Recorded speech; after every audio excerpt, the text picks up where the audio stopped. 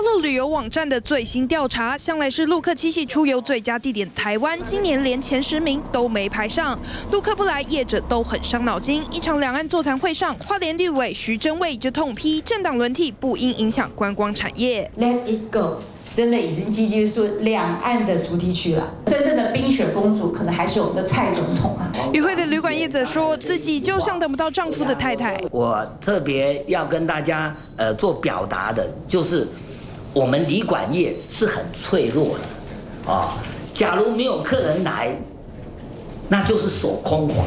加上日前的辽宁火烧车事件，让观光业雪上加霜。游览车业者无奈地说：“没人来，车放着就会日日折旧，就连想卖车都没人要买。”如果你没有办法，你也没有的话，没关系嘛，早点讲嘛。